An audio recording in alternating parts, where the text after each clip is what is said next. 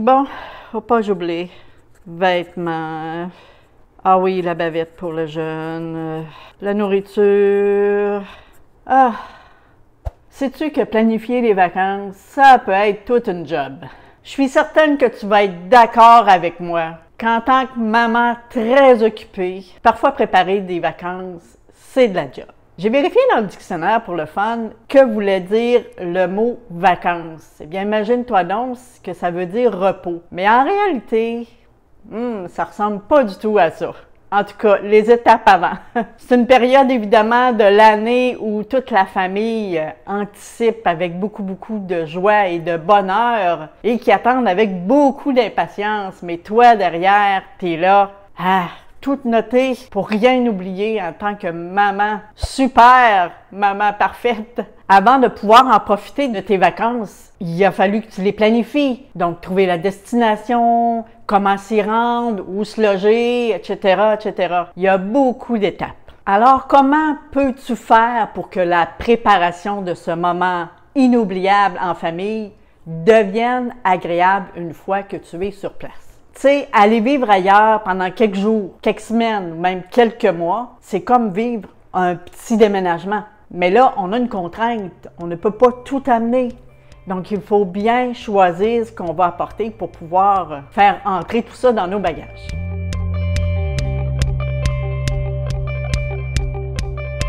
Je me présente, mon nom est José Lamy, je suis créatrice d'expériences inoubliables. Moi, là, je crois sincèrement que dans la vie, on doit prendre des moments de recul pour la santé de notre corps, mais aussi la santé de notre esprit. C'est pourquoi j'ai le bonheur, le privilège de faire vivre des expériences de séjour inoubliables dans de magnifiques chalets situés à Lac aux Sables en Mauricie. Dans cette vidéo, je te partage des astuces, mes astuces personnelles qui vont beaucoup t'aider à simplifier la préparation de ce moment agréable en famille pour qu'une fois rendu sur place, que toi aussi tu puisses en profiter. Mon première astuce, c'est de te libérer le cerveau, d'éviter de garder tout ça dans ta tête. Donc le meilleur moyen, c'est de garder un calepin et un crayon dans un endroit passant et d'écrire, d'écrire à mesure que ça te vient en tête, de l'écrire euh, sur ton papier. C'est très efficace parce que quand on garde ça dans notre tête, déjà qu'on en a beaucoup, bien finalement on l'oublie. Si je suis pas chez moi, ben moi j'ai je me suis trouvé un petit truc quand je suis pas chez moi, ben je m'envoie un courriel à quoi j'ai réfléchi et à ce moment-là quand j'ouvre mes courriels, je peux prendre en note. Donc je suis certaine que je me libère le cerveau et qu'une fois sur le papier, bien je ne l'oublierai pas.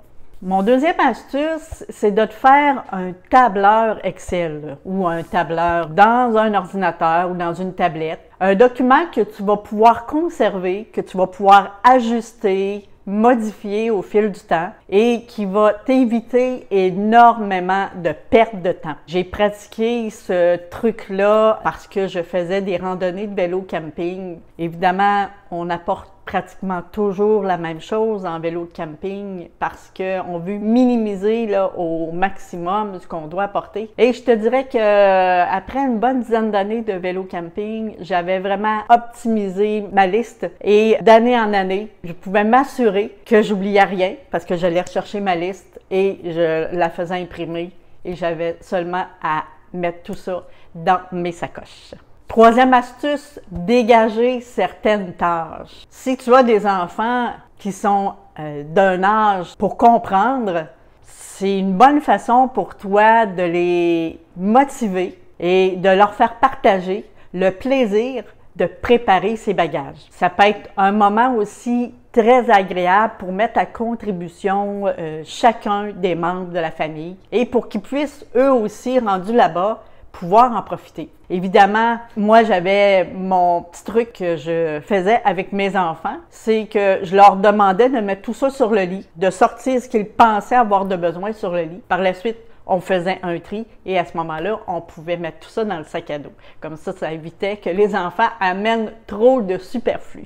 En résumé, ces trois conseils-là, c'est de laisser un calepin et un crayon à portée de main, Également, de te faire un tableur du genre Excel. Et mon troisième astuce, c'est de faire participer la famille à la préparation des bagages et euh, de tout ce que ça implique pour un séjour à l'extérieur. Si tu as aimé ma vidéo, je t'invite à cliquer j'aime, évidemment à la partager, ça peut aider d'autres mamans bien occupées à la planification de leurs vacances.